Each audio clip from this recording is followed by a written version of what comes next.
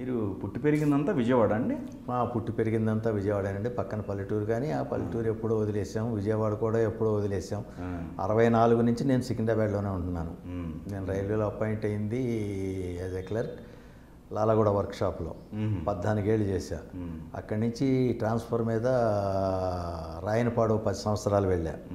పది సంవత్సరాల తర్వాత రెండు సంవత్సరాలు డెప్యుటేషన్ మీద ఇరాక్ వెళ్ళా తిరిగి వచ్చిన తర్వాత ఒక రెండు సంవత్సరాలు కొద్ది నెలలు గుంటకల్ ఆ తర్వాత టూ ఇయర్స్ అబౌవ్ విజయవాడ పనిచేసి thirty one twelve ninety two voluntary retirement తీసుకున్నా. ఆ తర్వాత నుంచి సినిమా ఇండస్ట్రీ అంటే విజయవాడలో మీరు ఎస్ఎల్సి చదివే వరకు ఉంది. విజయవాడలో ఎంతవరకు ఉన్నారు? విజయవాడలో నేను కా స్కూల్ వరకే లెవెన్త్ క్లా స్టాండర్డ్ వరకే చదివానండి అంతే. ఆ తర్వాత ఏదో చదివాను కానీ అవి ఏం లెక్కలోకి రావు.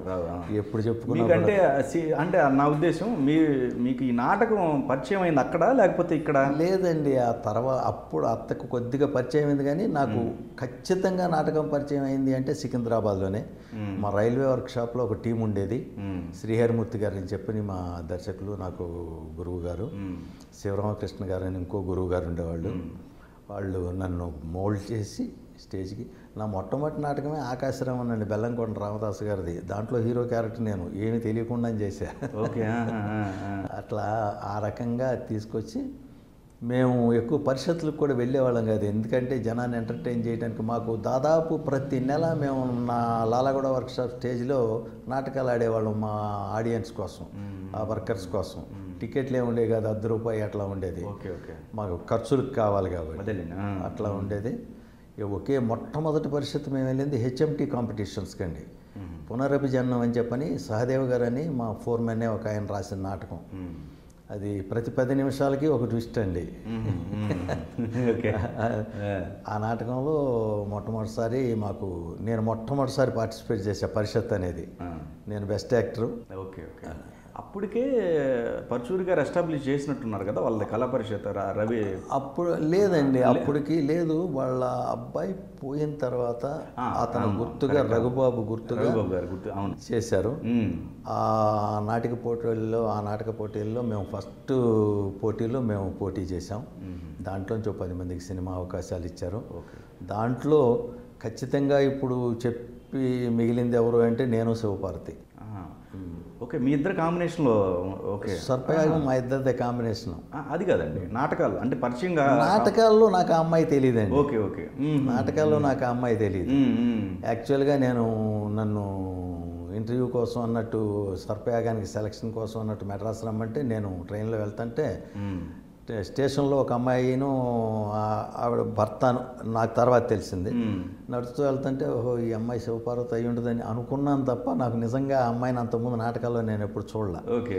ఎందుకంటే నా నాటకాలకు సంబంధించిందంతా ఎక్కువ భాగం ఇక్కడ జరిగింది సికింద్రాబాద్ హైదరాబాద్. ఆవిడ తెనాలి. ఆవిడ తినాలి. ఆవిడ వేరే వేరే ఊళ్ళకి వెళ్ళి ఆడుతూ ఉండే కానీ మాతో ఎప్పుడూ చేయలేదు.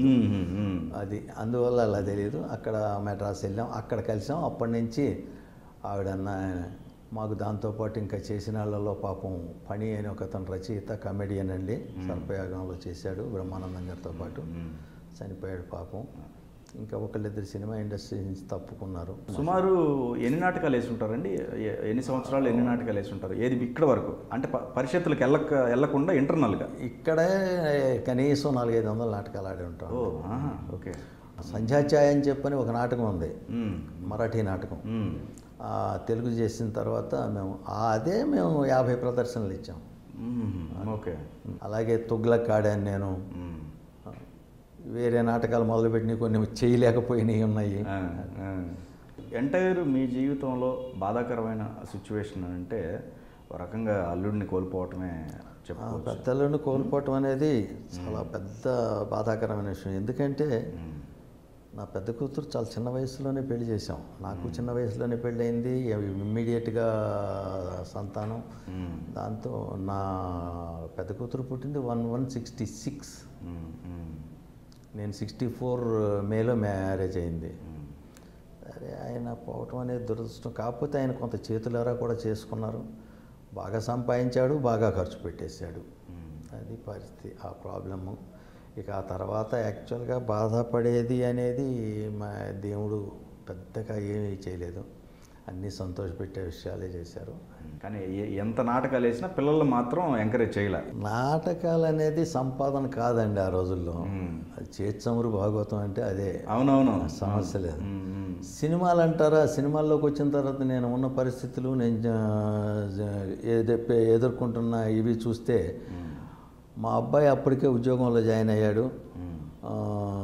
కొత్త సొంతంగా కంపెనీ పెట్టాలనే దీంట్లో ఉన్నాడు. వాడిని తీసుకొచ్చి దీంట్లో ఎటు కాకుండా చేయటం అనేది నాకు ఇష్టం లేదు. దాంతో ఎవరిని నేను ఎంకరేజ్ చేయాల. But I'm now very very happy నా కొడుకు సినిమాల్లో ఉండి నిజంగా వస్తుంటే సంపాదించేవాడా లేదా తెలియదు కానీ ఇప్పుడు మాత్రం చక్కగా happy the best son okay. చాలా బాగా చేస్తాడు. మనిషి ముఖ్యమైన విషయం ఏంటంటే విలువలు పాటిస్తాడు నా కొడుకు. అది గొప్ప విశేషం. Okay. I'm happy for that నేను ఉన్న ఇంట్లో లేకపోయినా వాళ్ళ మదర్ని చూడటం కానీ ఇంకోటి కానీ. ఇప్పుడు పొద్దునే వచ్చాడు నా దగ్గరికి కూడా వచ్చి.